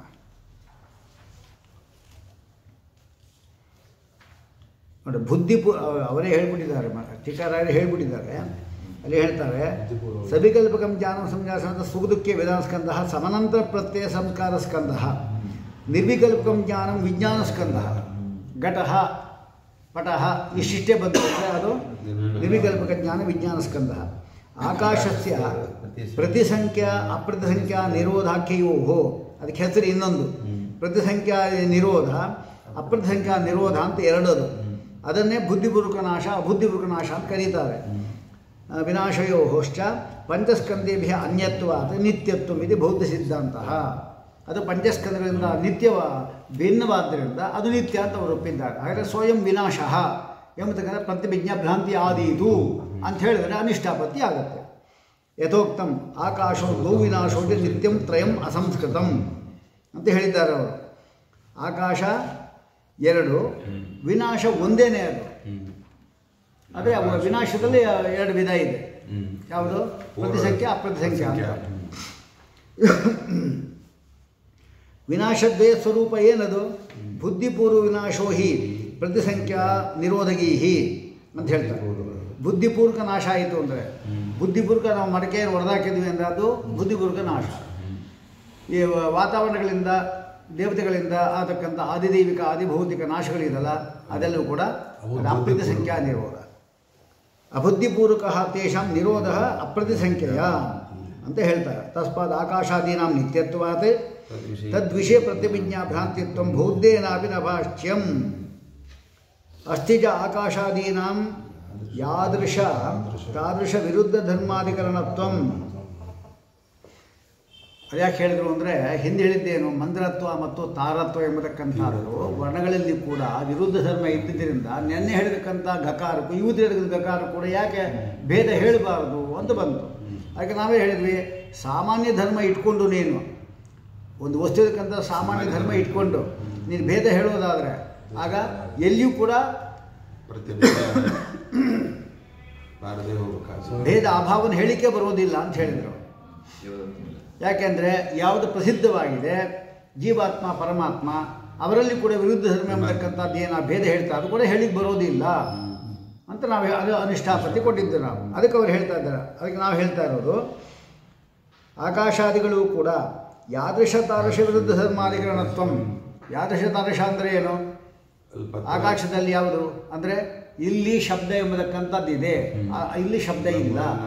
ಹಾಗೆ ಶಬ್ದತ್ವ ಶಬ್ದ ಭಾವತ್ವ ಎಂಬತಕ್ಕಂಥ ವಿರುದ್ಧ ಧರ್ಮಗಳು ಅಲ್ಲೂ ಕೂಡ ಕಂಡುಬರುವುದರಿಂದ ಆಕಾಶಗಳು ಕೂಡ ಏನಾಗಬೇಕಾಗಿತ್ತು? ಭಿನ್ನ ಭಿನ್ನ ಅಂತ ಆಗಬೇಕಾಗಿತ್ತು. ಆದರೆ ಆಕಾಶ ಒಂದೇ ಅಂತೆಲ್ಲ ಒಪ್ಪಿದ್ದಾರೆ. ತತಃ ತನ್ಮಾತ್ರಸ್ಯ ಭೇದಹೇತುತ್ವ ಅಂಗೀಕೃತವು. ಆಕಾಶಾದ್ಯಪಿ ಭೇದ ಪ್ರಸಂಗೇನ ತದ್ವಿಷಯ ಪ್ರತಿವಿಜ್ಞಾಯ ಅಪಿ ಭ್ರಾಂತಿತ್ವ ಸ್ಯಾತ್. ಈ ಅನಿಷ್ಠಾಪತಿ ಕೊಡ್ತಾ ಇದ್ದೀವಿ ಆಕಾಶ ಎಂಬತಕ್ಕಂಥದ್ದು ಏನಿದೆ ಅದು ಕೂಡ ಭಿನ್ನ ಅಂತ ಆಗಬೇಕಾದೀತು. ಅಂತ ಅನಿಷ್ಠಾಪತಿ ಕೊಡ್ತಾ ಇದ್ದಾರೆ. ಅದು ಸಂಭವತ್ಯ ಇದು ಬೌದ್ಧಂ ಪ್ರತಿ ಬೌದ್ಧಂ ಪ್ರತಿ ಅತಿಪ್ರಸಂಗಾಭಿಧಾನಂ ಇತಿ ಭಾವ. ಯದ್ಯಪ್ಯತ್ರ ಸರ್ವಕ್ಷಣಿಕತ್ವ ನಿರಾಕರಣೇನಾಪಿ ಉತ್ತರಂ ಶಕ್ಯತೆ ವಕ್ತು. ಇಷ್ಟೆಲ್ಲ ಯಾಕೆ ಕಷ್ಟಪಟ್ಟರು ನೀವು? ಹಿಂದೆ ನಾವು ಯದ್ಯಪ್ಯತ್ರ ಸರ್ವಕ್ಷಣಿಕತ್ವ ನಿರಾಕರಣೇನಾಪಿ. ಈಗ ಅವನು ಸರ್ವಕ್ಷಣಿಕವನ್ನು ಹೋಗ್ತಾ ಇದ್ದಾನೆ. ಅಲ್ವಾ? ಅದನ್ನು ನಿರಾಕರಣೆ ಮಾಡಿಬಿಟ್ರೆ ಆಯ್ತು ಅಷ್ಟೇ. ಎಲ್ಲ ವಸ್ತುಗಳು ಸ್ಥಾಯಿ ಅಂತ ಆಗೋಯ್ತಲ್ಲ. ಸ್ವಯಂ ದೇವದತ್ತಃ ಸ್ವಯಂ ಗಕಾರ ಅದೇ ಸಾಕಲ್ವಾ? ನೀವು ಹೇಗಿದ್ದು ಕೂಡ ಸರ್ವಕ್ಷಣಿಕತ್ವ ಒಪ್ಪಲೇಬೇಕು ನೀವು ಖಂಡನೆ ಮಾಡಲೇಬೇಕು ನೀವು. ಈಗಲೇ ಮಾಡಿಬಿಟ್ಟಿದ್ರೆ ಸರ್ವಕ್ಷಣಿಕತ್ವ ಇಲ್ಲ ಅಂದರೆ ಮುಗಿದೋಯ್ತಲ್ಲ. ಏನು? ಸ್ವಯಂ ಸರ್ವಕ್ಷಣಿಕತ್ವವನ್ನು ನಿರಾಕರಣೆ ಮಾಡಿಬಿಟ್ವಿ ಅಂದರೆ ಎಲ್ಲ ಸ್ಥಾಯಿ ಅಂತಾಗೋಯಿತು ಹಾಗೆ ಸ್ವಯಂ ಗಕಾರ ಸ್ವಯಂ ದೇವದತ್ತ ಅದೇ ದೃಷ್ಟಾಂತವೇ ಸಾಕಲ್ಲ. ಸೇಯಂ ದಿಕ್ಕು ಅಂತ ಯಾಕೆ ಹೇಳಬೇಕಾಗಿತ್ತು? ಅಂತ ಪ್ರಶ್ನೆ ಬಂದರೆ ಅದನ್ನು ಮುಂದೆ ಖಂಡನೆ ಮಾಡ್ತಾರೆ. ಮುಂದೆ ಸೂತ್ರಗಳಲ್ಲಿ ಅದನ್ನು ಸರ್ವಕ್ಷಣಿಕತ್ವವನ್ನು ಖಂಡನೆ ಮಾಡ್ತಾರೆ. ಜೈನ ಮತ ಬೌದ್ಧ ಮತವನ್ನು ಖಂಡನೆ ಮಾಡುವಾಗ ಬೌದ್ಧ ಮತ ಎಲ್ಲ ಖಂಡನೆ ಮಾಡ್ತಾರೆ. ಅಲ್ಲಿ ಯಾವುದು ಅಂದರೆ ವೈಧರ್ಮ್ಯಾಚ ಸ್ವಪ್ನಾಧಿಪತ್ ನಾ ಸ್ವಪ್ನಾಧಿಪತ್ ಅಂತ. ವೈಧರ್ಮ್ಯಾಚ ಸ್ವಪ್ನಾಧಿಪತ್ ಅದೊಂದು ಸೂತ್ರ. ನಾಭಾವ ಉಪಲಬ್ಧಿ. ಅಂತ ಹೇಳ್ಬಿಟ್ಟು ಎರಡು ಮೂರು ಸೂತ್ರಗಳಿಂದ ಬೌದ್ಧ ಮತ್ತು ಖಂಡನೆ ಮಾಡ್ತಾರೆ. ಅಲ್ಲಿ ಕ್ಷಣಿಕತ್ವವನ್ನು ನಿರಾಕರಣೆ ಮಾಡ್ತಾರೆ. ಅಲ್ವಾ? ಅದು ಕೂಡ ಇಲ್ಲಿ ಹೇಳಿದ್ದು ಯಾಕೆ ಅಂತ ಹೇಳಿದರೆ, ಹೀಗೂ ಕೂಡ ಅವರ ಮತವನ್ನು ಹೇಳಿ ಖಂಡನೆ ಮಾಡಬಹುದು ಅಂತ ಇನ್ನೊಂದು ವಿಷಯ ಗೊತ್ತಾಗಲಿಕ್ಕೋಸ್ಕರವಾಗಿ ಇಲ್ಲಿ ಬೇರೆ ರೀತಿ ಹೇಳಿದ್ದಾರೆ. ಇಲ್ಲದ್ರೆ ನಮಗೆ ಈಗ ಸರ್ವಕ್ಷಣಿಕತ್ವ ಹೇಳಿಬಿಟ್ಟಿದ್ರು ಅಂತ ಹೇಳಿದ್ರೆ, ಈ ವೇದನಾಸ್ಕಂದಗಳು, ರೂಪಸ್ಕಂದ, ಅದು ಯಾವುದು ಗೊತ್ತಾಗ್ತಾ ಇದೆ ಅದು ಕೂಡ ಜ್ಞಾನ ಬರಲಿ ಎಂಬ ಉದ್ದೇಶದಿಂದ ಹೇಳಿದ್ದಾರೆ. ಅವರ ಮತವನ್ನು ಕೂಡ ಹೇಳಲಿಕ್ಕೆ ಯದ್ಯಪ್ಯತ್ರ ಸರ್ವಕ್ಷಣಿಕತ್ವ ನಿರಾಕರಣೇನಾಪಿ ಉತ್ತರಂ ಶಕ್ಯತೆ ವಕ್ತು. ತಥಾಪಿ ಅತಿಪ್ರಸಂಗ ಕಥನ ಪ್ರಸ್ತಾವೇ. ಅಲ್ವಾ? ಈಗ ಅತಿಪ್ರಸಂಗ ಹೇಳಿ ಕೊಟ್ಟಿದ್ದಾರೆ ಯಾರಿಗೆ? ಸ್ವಯಂ ಪ್ರತಿ ಸ್ವಯಂ ದೇವದತ್ತ ಎಂಬತಕ್ಕಂಥ ಪ್ರತಿಭಿಜ್ಞ ಭ್ರಾಂತಿ ಆದೀತು ಅಂತ ಒಂದು ಅತಿಪ್ರಸಂಗ ಹೇಳಿ ಕೊಟ್ಟಿದ್ದಾರೆ ಅದು ಹೇಳುವಾಗ ಏನು ಹೇಳಬೇಕು ನಾವು? ಸರ್ವಕ್ಷಣಿಕತ್ವ ಖಂಡನೆ ಮಾಡಲಿಕ್ಕೆ ಪ್ರಸಂಗ ಇದೆಯಾ ಈಗ? ಇಲ್ಲ. ಹಿಂದೆ ಇಲ್ಲ. ಅದಕ್ಕೇನು ಮಾಡಬೇಕು ನಾವು? ಯಾವುದು ಪ್ರಸಕ್ತವಾಗಿದೆಯೋ ಅದನ್ನು ಮಾತ್ರ ಖಂಡನೆ ಮಾಡಲಿಕ್ಕೋಸ್ಕರ ಅದನ್ನೇ ತಗೊಂಡಿದ್ದಾರೆ ಅಷ್ಟೇ ಹೊರತಾಗಿ. ತಥಾಪಿ ಅತಿಪ್ರಸಂಗ ಕದನ ಪ್ರಸ್ತಾವೆ ಸ್ವಯಂ ದೇವದತ್ತ ಎಂಬತಕ್ಕಂಥದ್ದು ಏನಿದೆ ಅದು ಕೂಡ ಭ್ರಾಂತಿ ಆದೀತು ಅಂತ ಅತಿಪ್ರಸಂಗ ವೈಶೇಷಿಕ ನಾವು ಹೇಳಿದ್ದೇವೆ. ಅದನ್ನು ಹೇಳ್ತಾ ಇರುವ ಸಂದರ್ಭದಲ್ಲಿ ಈಗ ಸರ್ವಕ್ಷಣಿಕತ್ವ ನಿರಾಕರಣ ಅಸಂಬದ್ಧ. ಆಗುತ್ತೆ ಅದು ಹೇಳಬಾರ್ದು. ಹಿಂದೆ ಪ್ರಸಕ್ತವಾಗಿಲ್ಲ ಅಪ್ರಸಕ್ತ ನಿಷೇಧವನ್ನು ಮಾಡಬಾರ್ದು. ಉಚಿತತ್ವ ಉಚಿತತ್ವಾದನ ತದತ್ರ ಉಕ್ತಂ. ಇಲ್ಲಿ ಆ ಅತಿಪ್ರಸಂಗಾಂತರವನ್ನೇ ಹೇಳಬೇಕು. ಸರ್ವಕ್ಷಣಿಕತ್ವ ಹಿಂದೆ ಪ್ರಸಕ್ತವಾಗಿಲ್ಲ ಅದಕ್ಕೋಸ್ಕರ ಅದನ್ನು ಹೇಳಿಲ್ಲ. ಕೃತಶ್ಚ ಅನ್ಯತ್ರ ಸರ್ವಕ್ಷಣಿಕತ್ವ ನಿರಾಸ ಹಾಗೆ ಮಾಡೇ ಇಲ್ವಾ ನೀವು? ಅಂದರೆ ಕೃತಶ್ಚ ಮಾಡಿದ್ದೇವೆ ನಾವು. ಬ- ಸೂತ್ರಗಳಲ್ಲಿ ಮಾಡಿದ್ದೇವೆ ಅಂತ. ಪಂಚಸ್ಕಂದೇ ಭೇದಿ ವಿಶೇಷಣಂ ವಿಶೇಷೇಣ ಇತ್ಯನೇನ.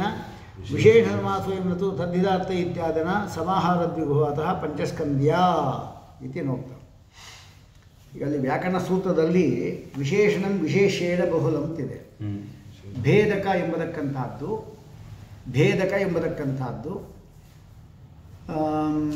ಭೇದಿ ಇಂದ ಸಮಾಸ ಹೊಂದುತ್ತೆ ವಿಶೇಷಣಂ ವಿಶೇಷೇಣ ಭವತಿ ಕೃಷ್ಣ ಸರ್ಪ ಅಂತ ಹೇಳ್ಬಿಟ್ಟು ಕೃಷ್ಣಶ್ಚಾಸೌ ಕೃಷ್ಣ ಎಂಬುದು ವಿಶೇಷಣ. ವಿಶೇಷ ಯಾವುದು? ಸರ್ಪ. ಕೃಷ್ಣಶ್ಚಾಸು ಸರ್ಪಶ್ಚ ಕೃಷ್ಣ ಸರ್ಪ ಅಂತ ಹೇಳ್ಬಿಡ್ತೀವಿ ನಾವು.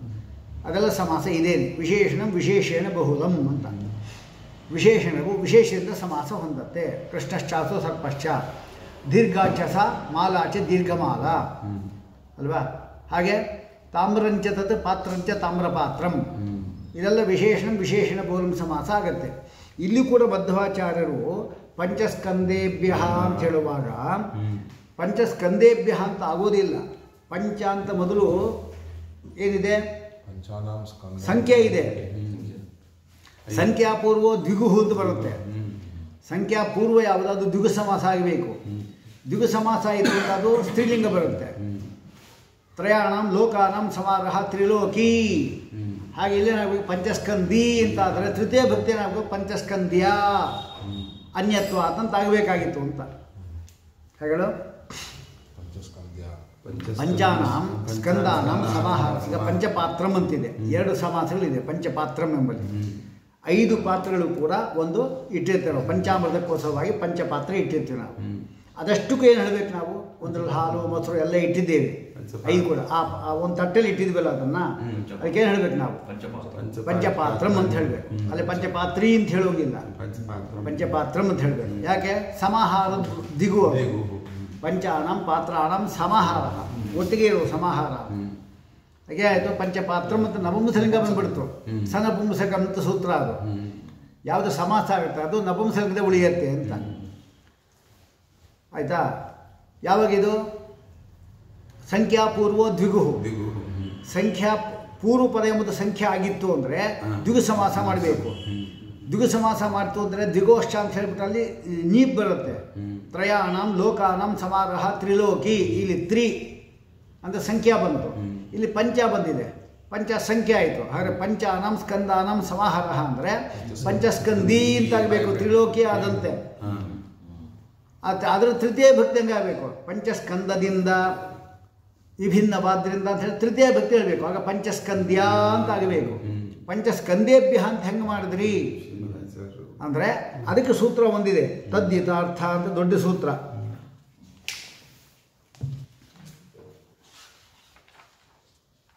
ತದ್ದಿತಾರ್ಥೆ ವಿಷಯ ಉತ್ತರ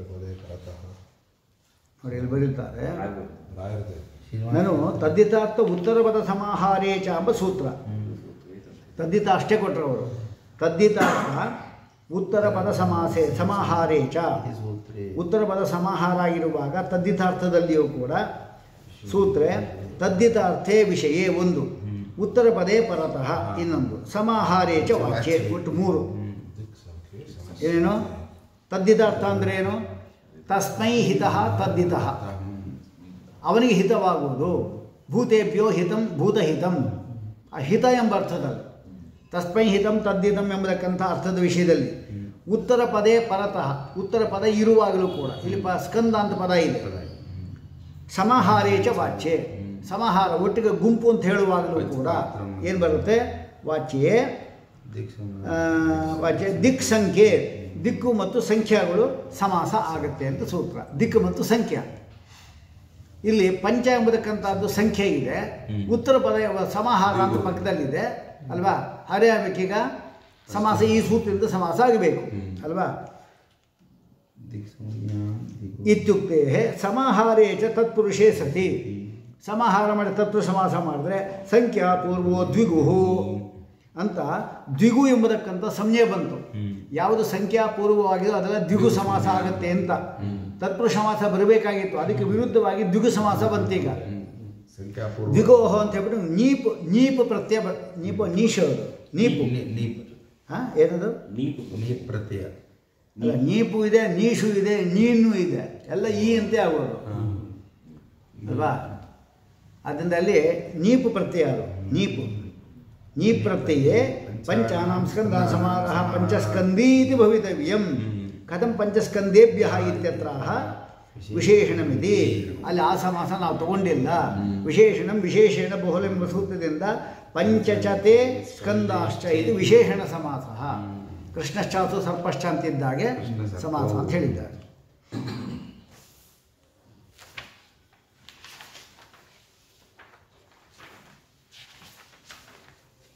ಬರಬೇಕು? ಬರಬೇಕು ಒಡವಿನ ಬರಲ್ಲ ಅಂತ ಹೇಳ್ತಿದ್ರಲ್ಲ ಹೌದು. ಶಿವಮೊಗ್ಗ ನಶ ನಚ ದಿಶಃ ಯಾವ ಭ್ರಾಂತಿಕಲ್ಪಿತಾ ವಿದ್ವಾನ ಶೂನ್ಯ ಸಾಮ್ಯ ಇನ್ನೊಂದು ವಿಷಯ ಹೇಳ್ತಾರೆ. ದಿಕ್ಕುಗಳು ಕೂಡ ಭ್ರಾಂತಿ ಕಲ್ಪಿತ ರೀ ಅದು ಕೂಡ ಭ್ರಾಂತಿ ಕಲ್ಪಿತ ಅಂದ್ರೆ ಏನು? ನಜ ದಿಶಾ ಭ್ರಾಂತಿ ಕಲ್ಪಿತ ದಿಕ್ಕುಗಳನ್ನು ನೀವು ದಿಕ್ಕುಗಳೇನಿದೆ ಅದನ್ನು ಮತ್ತು ವಿನಾಶವನ್ನು ಕೂಡ ಕ್ಷಣಿಕ ಅಂತ ಹೇಳೋಂಗಿಲ್ಲ ಕ್ಷಣಿಕ ಅಂತ ಹೇಳಿದ್ರೆ ಅದು ಭ್ರಾಂತಿ ಕಲ್ಪಿತ ಅಂತ ಹೇಳಿದ್ರೆ ಇದು ಭ್ರಾಂತಿ ಆಗಬೇಕಾದೀತು ಅಂತ ಹೇಳಿಬಿಟ್ರೆ ಇಷ್ಟಾಪತ್ತಿಯನ್ನು ಬಿಡ್ತಾ ಇದ್ದೇನೇನು ಅಲ್ವಾ? ಹಂಗಲ್ಲ. ನಿತ್ಯ ಅಂತ ಒಪ್ಪಿದ್ದಿ. ಆದ್ದರಿಂದ ದಿಕ್ಕುಗಳು ಕೂಡ ಭ್ರಾಂತಿ ಕಲ್ಪಿತ ಐತೆ ನಚ. ನಿಂಗೆ ಹೇಳಲಿಕ್ಕೆ ಬರೋದಿಲ್ಲ. ಹಾಗೆ ಹೇಳಿಬಿಟ್ರೆ ನಿತ್ಯವಾದಕ್ಕಂಥ ಯಾವ ದಿಕ್ಕುಗಳನ್ನು ಕೂಡ ಮತ್ತು ವಿನಾಶಗಳನ್ನೂ ಕೂಡ ನೀನು ಕೂಡ ಕ್ಷಣಿಕ ಅಂತ ಹೇಳಿಬಿಟ್ರೆ ಆಗ ವಿಜ್ಞಾನ ಮತ್ತು ಶೂನ್ಯ ಎಂಬುದಕ್ಕಂಥದ್ದು ಕೂಡ ನಿತ್ಯ ಅಂತ ಹೇಳಿದ್ದೆ. ಅದು ಕೂಡ ಕ್ಷಣಿಕ ಅಂತ ಆಗಬೇಕಾದೀತು ಅಂತ ಆಪತ್ತಿ ಇದೆ. ವಿಜ್ಞಾನ ಶೂನ್ಯ ರೂಪದ ಸಮ್ಯಾತ್ ನಚ ಆದಿತ್ಯ ಉದಯಾವದನೆ ದಿಕ್ಕಲ್ಪನಾ ಅಂಧಕಾರ ದಿಕ್ ಮಾತ್ರ ಪದೈತಿ ದಿಕ್ಕು ಅಂದರೆ ನಾವು ಅನ್ಕೊಂಡಿದ್ದು ಯಾವುದು ಅಂದರೆ ಯಾವುದು. ಈಗ ಅವರು ಅವ್ರು ಏನು ಗೊತ್ತಾ ಪ್ರಶ್ನೆ ಅವರು ವಿಜ್ಞಾನ ಮತ್ತು ಶೂನ್ಯಗಳಿಗೆ ಹೇಳಿಕ್ಕೆ ಬರಲ್ಲ. ನಾವೇನು ಆಪತ್ತಿ ಕೊಟ್ವಿ ಈಗ? ವಿಜ್ಞಾನ ಮತ್ತು ಶೂನ್ಯ ಕೂಡ ಕ್ಷಣಿಕ ಆಗಬೇಕು ದಿಕ್ಕುಗಳು ಏನಿದೆ ಅದು? ಭ್ರಾಂತಿ ಕಲ್ಪಿತ ಅಂತ ಹೇಳಿಕ್ ಬರಲ್ಲ. ಯಾವುದು ನಿತ್ಯವಾಗಿದೆಯೋ ಯಾವುದು ನಿತ್ಯ ಅಂತ ಒಪ್ಪಿದೆಯೋ ಅದನ್ನು ಕೂಡ ನಾನು ಅನಿತ್ಯ ಅಂತ ಹೇಳ್ಬಿಡ್ತೇನೆ. ಅಂದರೆ ಕ್ಷಣಿಕ ಅಂತ ಹೇಳ್ಬಿಡ್ತೇನೆ. ಹಾಗೇನಾಯ್ತು ನೀವು? ಸೇಯಂ ದಿಕ್ ಎಂಬುದಕ್ಕಂಥ ಪ್ರತಿಭಿಜ್ಞಾ ಭ್ರಾಂತಿ ಆದೀತು ಅಂತ ಹೇಳಿದ್ರೆ ಆಗಲಿ ಬಿಡ್ರಿ ಅಂತ ಹೇಳ್ತೇವೆ ಅಂತ ಹೇಳಬೇಕು ಅಲ್ವಾ ಇಷ್ಟಾಪತ್ತಿ ಆಯ್ತು ಹಂಗೆ ಹೇಳಿದ್ರೆ ಏನು ಮಾಡ್ತೀವಿ? ಆದರೆ ನಿತ್ಯ ಅಂತ ಒಪ್ಪಿರ್ತಕ್ಕಂಥ ಯಾಕೆ ಪಂಚಸ್ಕಂದಕ್ಕಿಂತ ಅತಿರಿಕ್ತವಾದದ್ದೆಲ್ಲ ನಿತ್ಯ ಅಂತ ಒಪ್ಪಿದ್ದೆ. ಈಗೇನು ಹೇಳ್ತಾ ಇದ್ದೇನೇನು ಅನಿತ್ಯ ಅಂತ ಹೇಳ್ತಾ ಇದ್ದಿ ಅಂತ ಹೇಳಿಬಿಟ್ರೆ ಯಾವುದನ್ನು ನೀ ಪಂಚಸ್ಕಂದಕ್ಕಿಂತ ಅತಿರಿಕ್ತವಾದ್ದರಿಂದ ವಿಜ್ಞಾನ ಮತ್ತು ಶೂನ್ಯ ಎರಡೂ ಕೂಡ ನಿತ್ಯ ಅಂತ ಹೇಳಿದ್ಯೋ ಅದಕ್ಕೂ ಕೂಡ ಈ ಆಪತ್ತಿ ಬರುತ್ತೆ ಅಂದ್ಕೊಟ್ವಿ ನಾವು. ಅದಕ್ಕೆ ಅವ್ರು ಹೇಳ್ತಾರೆ ಈ ಆಪತ್ತಿ ನಮ್ಮ ಕೊಳಿಗೆ ಬರಲ್ಲ. ವಿಜ್ಞಾನ ಶೂನ್ಯ ಎಂಬುದು ನಿತ್ಯನೇ. ಯಾಕೆಂದರೆ ಯಾವುದು ಔಪಾದಿಕವೋ ಅದು ಮಾತ್ರ ನಿತ್ಯ ಅಲ್ಲ. ಔಪಾದಿಕ ಉಪಾಧಿಯಿಂದ ಉಪಾದಿಯಿಂದ ಉಂಟಾಗಿತ್ತು ಅಂದರೆ ಅದು ನಿತ್ಯ ಅಲ್ಲ. ವಿಜ್ಞಾನ ಮತ್ತು ಶೂನ್ಯ ಔಪಾದಿಕ ಅಲ್ಲ ಅನೌಪಾದಿಕ. ಆದ್ದರಿಂದ ಅದು ಅದೆರಡು ನಿತ್ಯ. ಇದು ಇದು ನಿತ್ಯ ಅಂತ ಅನಿತ್ಯ ಅಂತ ಹೇಳ್ತೇವೆ. ಅಂತ ಹೇಳಿದ್ರು ಔಪಾದಿಕ ಅಂದರೆ ಏನು? ಯಾವ ಉಪಾಧಿ ಉಂಟಾಗಿದ್ದು? ದಿಕ್ಕಂತ ಗೊತ್ತಾಗೋದು ಹೇಗೆ ನಮಗೆ? ಪೂರ್ವ ದಿಕ್ಕು ಅಂತ ಹೆಂಗೆ ಗೊತ್ತಾ? ಬೇರೆ ಕಡೆ ಹೋದ ಪೂರ್ವ ದಿಕ್ಕು ಅಂತ ಹೆಂಗೆ ಗೊತ್ತಾಗೋದು ನಮಗೆ. ಆದಿತ್ಯ ಉದಯ ಆಯ್ತಾನೆ ಉದಿದಿಯಿಂದ. ಓ, ಉದಯ ಆಯ್ತು ಇಲ್ಲಿ. ಅದನ್ನ ಪೂರ್ವ. ಇದು ಮುಳುಗಿದೆ. ಇಲ್ಲಿ ಮುಳುಗ್ತಾ ಅದಕ್ಕೆ ಪಶ್ಚಿಮ. ಅದು ಎಡ ಮತ್ತು ಬಲದ್ದೇನಿದೆ ಅದು ಹಾಗೆ ಉಪಾದಿಯಿಂದ ನಿರ್ಮಿತವಾದ ದಿಕ್ಕುಗಳೇನಿದೆ ಅದು ಔಪಾದಿಕವಾಯಿತು. ಔಪಾದಿಕವಾದದ್ದು ಯಾವತ್ತು ಕೂಡ ಅನಿತ್ಯ. ಈ ಶರೀರ ಎಂಬತಕ್ಕಂಥದ್ದು ಏನಿದೆ? ಆತ್ಮನಿಗೆ ಶರೀರ ಔಪಾದಿಕ. ಪ್ರಾರಬ್ಧ ಕರ್ಮ ಎಂಬತಕ್ಕಂಥ ಉಪಾದಿಯಿಂದ ಈ ಶರೀರ ಬಂದಿರೋದು. ಆತ್ಮನಿಗೆ. ಅವನಿಗೆ ಶರೀರ ಇದೆಯಾ? ಅವನದು ಅವನು ಜ್ಞಾನಾನಂದಾತ್ಮಕ ಶರೀರ. ಆದರೆ ಇದು ನಾಶ ಆಗುತ್ತೆ ನಾವು. ಅಲ್ವಾ? ಅದಕ್ಕೋಸ್ಕರ ಅವ್ರು ಹೇಳೋದು ಈ ಇದು ಅರ್ಥ ಅದಕ್ಕೆ. ಹಾಗೆ ಹೇಳಿಬಿಟ್ರೆ ಆದಿತ್ಯ ಉದಯ ಎಂಬುದಕ್ಕಂಥದ್ದು ದಿಕ್ಕಲ್ಪನೆ ಅಲ್ಲ. ದಿಕ್ಕಂದ್ರೆ ನಂಬದ ಪ್ರಕಾರ ಯಾವುದು? ಅವ್ಯಾಕೃತ. ಆಕಾಶ ಅದು ಎಲ್ಲ ಕಡೆ ಇದೆ. ಯಾಕೆ ಆದಿತ್ಯ ಉದಯ ಆದಿದಿಂದಲೇ ಅಂತ ಯಾಕೆ ಹೇಳಬಾರ್ದು? ದಿಕ್ಕಲ್ಪನ ಅಂತ ಯಾಕೆ ಹೇಳಬಾರ್ದು ಅಂದರೆ ಭಿಕ್ಷಗಾರರು ಹೋಗ್ತಾ ಇರ್ತಾರೆ. ಕುರುಡರು ಅವ್ರ ಕಣ್ಣೇ ಕಾಣಿಸಲ್ಲ. ಅಲ್ವಾ? ಯಾರಾದರೂ ಜನ ಇದ್ದಾರೆ ಕಿವಿಂದ ಶಬ್ದ ಕೇಳಿಕೊಳ್ಳಿ ಕೈ ಹಿಂಚಾಡ್ತಾರೆ. ಕೈ ಹಿಂಚಾತ ಆಕಾಶ ಇದೆ ಅಂತ ಆಯ್ತಲ್ಲ ಅಲ್ಲಿ. ಅವ್ರಿಗೆ ದಿಕ್ಕಿದೆ ಅವ್ರಿಗೆ. ಅವ್ರಿಗೆ ಎಲ್ಲ ದಿಕ್ಕು ಒಂದೇ. ಹಗಲು ಒಂದೇ ರಾತ್ರಿ ಒಂದೇ. ಅಲ್ವೇನಾ? ಯಾಕೆ ಹೇಳೋ? ಕಣ್ಣೇ ಕಾಣಿಸೋಲ್ಲ ಕಣ್ಣು ಕಾಣಿಸಿದ್ರೆ ಅವರು ಸೂರ್ಯ ನೋಡ್ತಾ ಇದ್ರೆ ಇದು ಪೂರ್ವ ದಿಕ್ಕು ಪಶ್ಚಿಮ ದಿಕ್ಕು ಅಂತ ಹೇಳ್ಬೋದಾಗಿತ್ತು. ಹಾಗಿಲ್ಲೇ ಇಲ್ಲ. ನಾವು ಅಂಧಕಾರದಲ್ಲಿ ಕೂಡ ನಮಗೆ ಹಿಂಗಿಟ್ಕೊಂಡು ಹೋಗ್ತೀವಿ ಏನೋ ಅಡ್ಡ ಬರುತ್ತಾ ಅಂತ. ಹೆಂಗಿದೆ ಹಿಂಗಿದೆ ಅಂದ್ರೇನು ಕೈ ಚಾಚಿದ್ದೇವೆ ಅಂತ ಅರ್ಥ ಆಯಿತು. ಅದಕ್ಕೆ ಅವಕಾಶ ಅಂತ ಹೇಳ್ತಾರೆ. ಅದು ಆದಿತ್ಯ ಉದಯ ಎಂಬುದಕ್ಕಂಥ ಒಂದು ಉಪಾಧಿಯಿಂದ ದಿಕ್ಕು ಕಲ್ಪನೆ ಮಾಡಿದ್ದಲ್ಲ. ಹಾಗಾದ್ರೆ ಅಂಧಕಾರದಲ್ಲಿ ನಾವು ಕೈ ಚಾಚಬಾರ್ದಾಗಿತ್ತು. ಚಾಚ್ಕೊಂಡು ಹೋಗ್ತಾ ಇದ್ದೇವೆ ನಾವು. ಕತ್ತಲೆ ಬಂದಾಗ ಏನು ಮಾಡ್ತೀವಿ ನಾವು?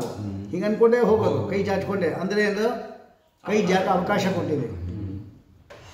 ಭಿಕ್ಷೆಗಾರ ಭಿಕ್ಷೆ ಬೇಡ್ತಾರೆ ಕುರುಡರಿಗೆ. ಅವ್ರಿಗೆ ಆದಿತ್ಯ ಉದಯ ಎಂಬುದೇ ಇಲ್ಲ. ಆದಿತ್ಯ ಉದಯ ಇಲ್ಲ ಅವ್ರಿಗೆ ಆದಿತ್ಯ ಉದಯನೂ ಒಂದೇ ಕತ್ಲೆ ಒಂದೇ ಚಂದ್ರ ಎಲ್ಲ ಒಂದೇ ಅವ್ರಿಗೆ. ದಿಕ್ಕುಗಳು ಅನಿತ್ಯ ಅಂತ ಹೇಳ್ಬೇಕಾಯ್ತಾರೆ ಹಾ? ದಿಕ್ಕುಗಳು ಅನಿತ್ಯ ಅಂತಾನೆ ಹೇಳ್ಬೇಕು ಯಾವಾಗ ದಿಕ್ಕು ಹೌದು ದಿಕ್ಕು ನಿತ್ಯನೇ. ದಿಕ್ಕಂದ್ರೆ ನಾವು ಹೇಳ್ತಾ ಇರೋದು ಪೂರ್ವ ದಿಕ್ಕು. ಪೂರ್ವ ದಿಕ್ಕಲ್ಲಿ ಹೇಳ್ತಾ ಇರೋದು ಅವ್ಯಾಕೃತ ಆಕಾಶ ದಿಕ್ಕು ಅಂತ. ನಮ್ಮಲ್ಲಿ ಎರಡೇ ಇರೋದು ದಿಕ್ಕಂತ ಪ್ರತ್ಯೇಕ ಇಲ್ಲ. ಅವ್ಯಾಕೃತ ಆಕಾಶ ಅಂದ್ರೂ ಒಂದೇ ದಿಕ್ಕಂದ್ರೂ ಒಂದೇ ನಮ್ಮದ ಪ್ರಕಾರ. ಅಲ್ವಾ? ಕೆಲವು? ದಿಕ್ಕಂದ್ರೆ ಪೂರ್ವ ಪಶ್ಚಿಮ ತಗೊಳ್ಳೋದ್ರಲ್ಲ ಮುಂದೆ. ಅಲ್ಲ ಹೆಸರು ಅಷ್ಟೇ ಅದಕ್ಕೆ. ಅದರಲ್ಲೇ ವಿಭಾಗನ ಮಾಡಿಕೊಡಿ. ಈಗ ಘಟಾಕಾಶ ಮಠಾಕಾಶ ಅಂತ ಮಾಡಲ್ವ? ನಾವು ಹಾಗೆ ಅಷ್ಟೇ. ನಾವೊಂದು ಚಚ್ಚೌಕಾರ ಬಂದಿ ಚಕ್ಬಂದಿ ಹಾಕ್ಕೊಂಡಿದ್ವಿ ಅಂದರೆ ನಮ್ಮ ಆಕಾಶ ಇದು. ಅಲ್ವಾ? ಇಲ್ಲೆಲ್ಲ ನಮ್ಮ ಆಕಾಶ ಅಂದರೆ ಏನು? ಇಲ್ಲಿ ಬಂದು ಅವ್ನು ಮೇಲೆ ಮನೆ ಕಟ್ಟೋಂಗಿಲ್ಲ ಅವನು. ಏ ಮೇಲೆ ಖಾಲಿ ಇದೆ ನಿಮ್ಗೆ ಇಷ್ಟು ಜಾಗ ಮಾತ್ರ ಅಂಥೇಳಿ ಮಾಡೋಂಗಿಲ್ಲ. ಮೇಲೆ ಪೂರ್ತಿ ಒಂದೇ ಆಕಾಶ ಅದು. ಎಷ್ಟು ಮಾಡಿದ್ರೆ ಬೇಕು ಕಟ್ಟಬೇಕು ಹಾಗೆ. ಬೇರೆ ಕಟ್ಟಲಿಕ್ಕೆ ಸಾಧ್ಯ ಇಲ್ಲ. ಅಲ್ವಾ? ಹಾಗೆ. ಸಾಕಾ?